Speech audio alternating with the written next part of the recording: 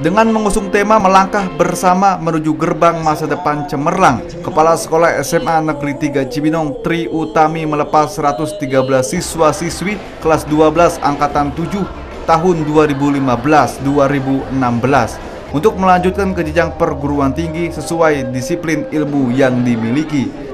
Kepala Sekolah Tri Utami berharap para pelajar yang telah lulus ini dapat melanjutkan studinya ke jenjang pendidikan yang lebih tinggi sesuai minat dan bakatnya. Us Kuswendi melaporkan untuk TV Tegar Beriman.